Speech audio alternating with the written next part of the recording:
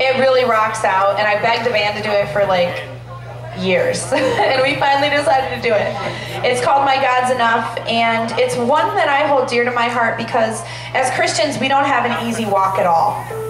I mean, doing the right thing is some of the hardest tasks that I've ever had to carry out in my own life. And this is a great song because it talks about even when you're walking through the valley of the shadow of death, honestly, your God is enough, and if you just turn to Him, He will be enough. And that's what the song's about. My God's enough.